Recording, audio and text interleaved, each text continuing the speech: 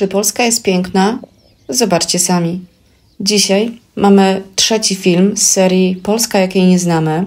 Poznajemy polską florę i faunę i jesteśmy na bagnie całowanie. Zanim zaproszę Was do oglądania tego filmu, to proszę Was, żebyście udostępniali ten film z tego względu, że po pierwsze wymaga bardzo dużo pracy, żebym nagrała ten film. Po drugie, chciałabym, to nam w sumie Polakom powinno zależeć na tym, żeby pokazać, jak, jaki mamy piękny kraj. To, żeby zobaczyć piękno tego miejsca, to niestety, ale trzeba tam być.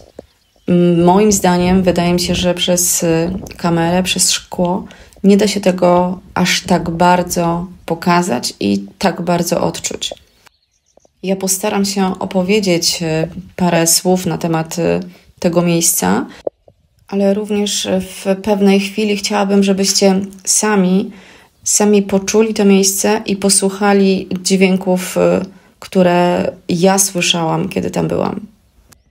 Bagno Całowanie to rezerwat przynależący do Mazowieckiego Parku Krajobrazowego. To jest y, miejsce niedaleko Warszawy.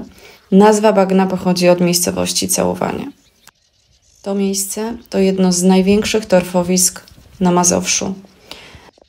Ścieżka przyrodnicza to prawie 4 km, więc sami widzicie, że jest co oglądać. Oczywiście w niektóre miejsca nie da się wejść i nawet jest to niewskazane z tego względu, że możecie spotkać y, niespodzianki, czyli żmije, łosia na przykład, albo nawet bobra.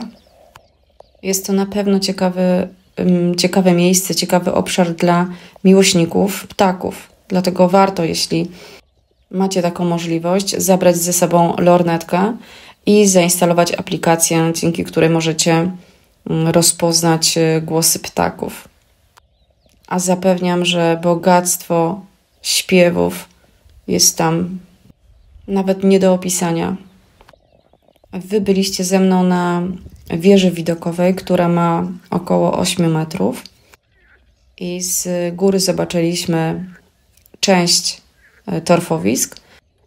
Natomiast teraz znajdujemy się na ścieżce edukacyjnej. Na trasie tej ścieżki są ustawione tablice dydaktyczne, które e, również Wam tutaj udostępniłam w tym filmie. Możecie je sobie przeczytać, chociaż e, ja postaram się je również przeczytać dla Was, żebyście nie musieli zatrzymywać filmu. Jeśli zachęcę Was do tego, żebyście tutaj przyjechali, to jak zwiedzicie i jak poprowadzicie swoją trasę wycieczki, wszystko zależy od Was można wybrać opcję minimum, czyli przejście się po kładkach, tak jak my to zrobimy, i wspięcie się na wieżę widokową, na której już byliśmy. Jedna kładka kieruje na prawą stronę torfowiska, patrząc od miejscowości Podbieli, i jest to zalesiona część bardziej dzika. Kończy się w miejscu, gdzie zaczyna się łąka, i dalej jest wydeptana ścieżka prowadząca w okolice miejscowości Podbiel i my tam nie poszliśmy. Jeśli wy się tam również nie skierujecie, to wracacie y, po śladach, czyli wracacie znów kładką do drogi i po drugiej stronie jest y, druga część y, mm, zwiedzania, druga część kładki. Na początku jest właśnie wieża widokowa, i po drugiej stronie nie ma drzew, są tylko trzciny, tużyce i czarny torf, który kontrastuje z soczystą, piękną zielenią, z pięknymi kwiatami. Jest tutaj mnóstwo ziół, mnóstwo, mnóstwo w ogóle roślinności. Zwróćcie uwagę na napisy, które już widzieliście do tego momentu. Jest tam bardzo dużo bardzo dużo roślin, które już omawiałam na swoim kanale bardziej szczegółowo, właśnie jak tutaj przytulia czepna, pokrzywa. Będzie również pięciornik gęsi, który jeszcze zamierzam, zamierzam omówić. I mnóstwo, mnóstwo roślin i ziół. A teraz chciałabym Wam przeczytać, przeczytać e, kilka tablic edukacyjnych, które tam e, zobaczyłam i które również, tak jak już wcześniej powiedziałam, umieściłam w tym filmie. I mam nadzieję, że Was nie zanudzę. Na początek wybrałam sobie taką tablicę edukacyjną, która jakby moim zdaniem powinna być jako pierwsza, czyli co to są torfowiska. Torfowiska to ekosystemy charakterystyczne dla obszarów, z których odpływ wody jest utrudniony lub po prostu nie istnieje. Porastająca te tereny roślinność ze względu na panujące specyficzne warunki nie jest całkowicie rozkładana. Organizmy odżywiające się martwą materią organiczną potrzebują tlenu do przeprowadzenia jej pełnego rozkładu, a na terenie torfowisk panują warunki beztlenowe. Powoduje to stopniowe gromadzenie się szczątków roślin oraz zwierząt i w efekcie przyrost pokładów torfu. I tutaj jest taka naprawdę ciekawostka. Maksymalnie do 2 mm na rok. I ja chciałam zaznaczyć tutaj, że to torfowisko ma głębokość nawet 4 metry. To pomyślcie sobie, ile, ile lat musiało minąć, żeby to torfowisko powstało. Torfowiska ze względu na sposób zasilania wody dzielimy na trzy typy: wysokie, przejściowe i niskie. Tutaj mamy torfowisko niskie i jest to torfowisko zasilane głównie wodami powierzchniowymi i gruntowymi, z małym ruchem wód, porośnięte w większości przez tużyce oraz trzciny. Ten rodzaj torfowisk zajmuje znaczną część obszaru bagna całowanie właśnie. Dlaczego torfowiska są ważne?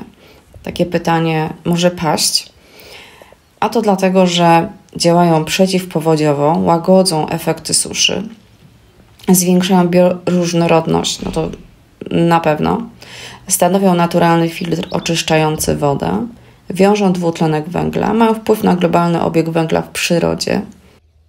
To też widać na załączonym obrazku. Torfowiska dostarczają bogatych informacji o przyszłości klimatycznej planety i dziejach człowieka, chociaż moim zdaniem to już nie wiadomo, co jest prawdą. Na pewno tworzą specyficzny mikroklimat danego miejsca, powodują wyrównanie amplitudy rocznych temperatur, częstsze przymrozki, większą wilgotność powietrza i pełnią funkcję krajobrazową, rekreacyjną i edukacyjną. Czy są jakieś zagrożenia dla istnienia torfowisk? Oczywiście, że są, a głównym takim zagrożeniem jest zarastanie, wkraczanie drzew, krzewów. Przyspiesza to właśnie efekt przesuszenia gleby, przesuszenia torfowisk. Niski poziom wód gruntowych prowadzi do utraty składu gatunkowego charakterystycznego dla torfowisk, upodobniając je do łąk i pastwisk. Nawet tutaj już widzimy, że ta roślinność jest po prostu podobna do łąk i do pastwisk. Następnym zagrożeniem to jest nielegalna eksploatacja torfu, fragmentacja siedlisk i pożary. W tle słyszycie bardzo dużą różnorodność ptactwa, czyli ptaki śpiewają nam mm, podczas całej wędrówki. Wszystko, co słyszycie w tle, to są naturalne dźwięki ptaków i zwierząt. Bagno całowanie to obszar Natura 2000, chroniony dyrektywą ptasią. Specyficzne warunki panujące na terenie torfowiska pozwalają żerować i gniazdować wielu rzadkim gatunkom. Ptaki budujące gniazda bezpośrednio na ziemi mają możliwość rozmnażania dzięki zabiegom czynnej ochrony utrzymującym otwarte tereny torfowiska, czyli wykaszanie i odkrzaczanie. Wędrując po bagnie mamy możliwość spotkać różne gatunki ptaków, a jeśli nie spotkać, to na pewno je usłyszycie. Ptactwa jest tutaj mnóstwo. Bagna całowanie to królestwo ptactwa. Spotkać tu można kulika wielkiego, rycyka, krwawodzioba, bekasa krzyka, trzmielojada, bączka, orlika krzykliwego i czarnego bociana. I wydaje mi się, że tego czarnego bociana możemy spotkać tylko w Mazowieckim Parku Krajobrazowym. Nie jestem tego pewna, ale jeśli jesteście ciekawi, to sprawdźcie sobie to. My teraz zeszliśmy sobie ze ścieżki edukacyjnej i idziemy y, w głąb, jakby zrobiliśmy takie, takie kółko i dojdziemy z powrotem do drogi szutrowej i przejdziemy na drugą część y, ścieżki edukacyjnej. Jest y, dosyć sucho tutaj i można przejść, chociaż wydaje mi się, że we wszystkich przewodnikach zobaczycie taką informację, że należy wrócić z tej ścieżki edukacyjnej. My chcieliśmy zobaczyć, co tam jest jeszcze dalej. Ze względu na to, że nie było aż tak e, bardzo mokro, to mogliśmy sobie przejść jak po łące. Nie wiem, czy tutaj jest to jakby oddane na obrazie to piękno e, tego bagna, tej takiej natury naszej polskiej, ale na pewno jest to siedlisko wielu rzadkich chronionych gatunków roślin. Można tu spotkać brzozę niską, gatunek będący reliktem polodowcowym. Ponadto przy ścieżce zauważamy kukułkę krwistą, storczyk żyjący w symbiozie z grzybami, biało kwitnący bobrek trójlistkowy, żółty jaskier wielki i przypominającą bawełnę wełnianki. Teren bagna całowanie rozciąga się na obszarze ponad 3000 hektarów w obrębie Pradoliny Wisły wzdłuż prawego brzegu koryta rzeki. Jest to największe torfowisko niskie na Mazowszu, długość około 15 km, szerokość 3 km. Jest to taka perła regionu, odkładające się przez tysiące lat szczątki organiczne roślinne i zwierzęce utworzyły tutaj złoża torfu dochodzące do 4,5 metra w niektórych miejscach i o tym już mówiliśmy. Doszliśmy do drogi szutrowej i teraz kierujemy się w kierunku drugiej części ścieżki edukacyjnej. Idąc, mamy tutaj bogactwo pokrzyw, przytuli czepnej. Za chwilę zobaczymy żywokost lekarski, jaskier wysoki, lilie. Za chwileczkę piękne nam się ukażą. Piękny żywokost lekarski.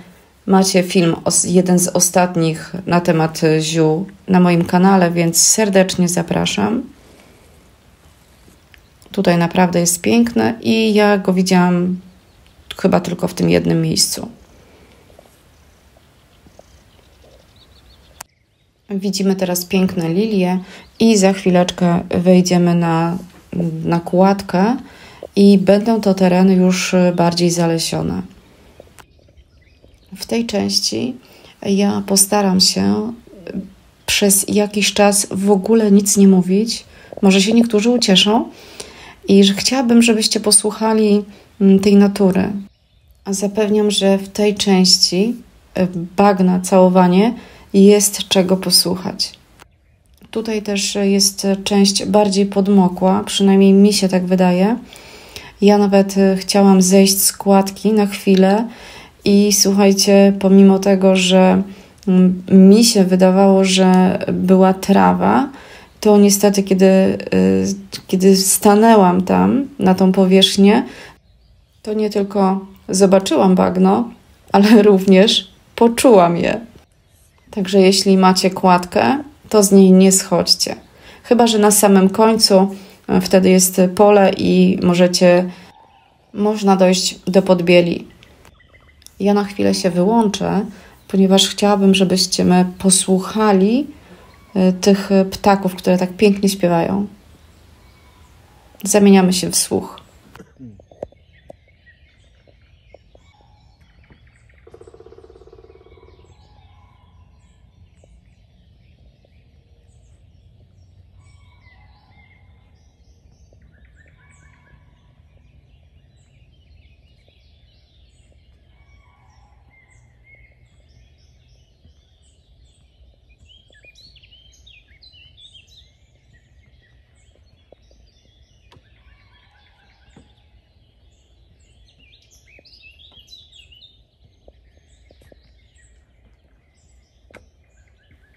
Jeśli rozpoznajecie ptaki, to napiszcie mi w komentarzach, co wy słyszeliście, jakie ptaki słyszeliście.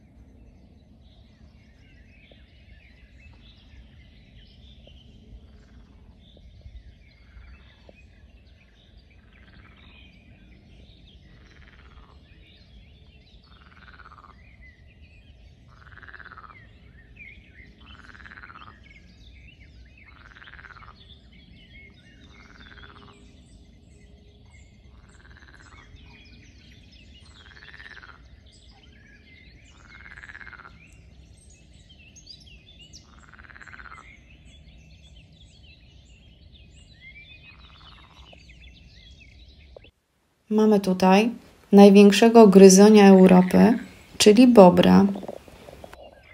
W Polsce podlega częściowej ochronie, żywi się roślinnością nadwodną, żyje w grupach rodzimych, budujących nory w wysokich brzegach lub szałasy i tam właśnie przy tym drzewie jest szałas bobra. Możemy spotkać tutaj również piżmaka, Piżmak to duży gryzoń z rodziny nornikowatych. Samce posiadają gruczoły, których wydzielina pachnie piżmem. Sprowadzony został z Ameryki Północnej jako zwierzę futerkowe. Po 1905 roku rozprzestrzenił się po całej Europie. Tutaj chciałam sfilmować żabę i nawet mi się chyba udało, jak ona tutaj skacze.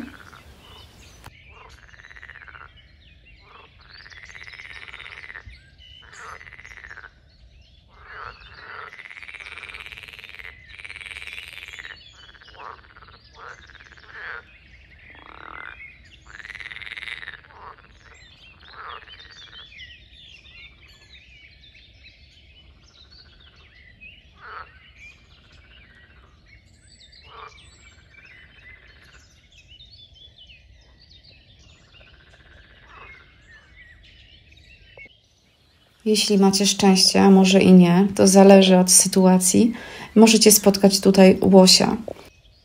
Łoś doskonale pływa, nurkuje i potrafi biegać z prędkością do 30 km na godzinę. To, że potrafi biegać, to, że ma długie nogi, to wszystko wiedziałam, natomiast, że potrafi pływać i nurkować, to jest dla mnie wielkie zaskoczenie. Łoś ma świetne zmysł węchu i słuchu, ale ma bardzo słaby wzrok. Więc jak spotkacie łosia, to po prostu się nie ruszajcie, on was nie zauważy. Tereny bagna całowanie zamieszkuje rzęsorek. Jest to jedyny jadowity ssak w Polsce. Zamieszkuje brzegi różnego rodzaju wód stojących i płynących. O jego obecności świadczą zgromadzone muszle ślimaków, i drobnych skorupiaków oraz fragmenty ciał owadów, którymi się żywi. W Polsce rzęsorek również podlega częściowej ochronie gatunkowej. Jeśli będziemy mieli szczęście, to również spotkamy mnóstwo motyli. W słoneczny dzień jest ich bardzo dużo, między innymi modraszek telejus, czerwończyk, czerwończyk fioletek i paść królowej.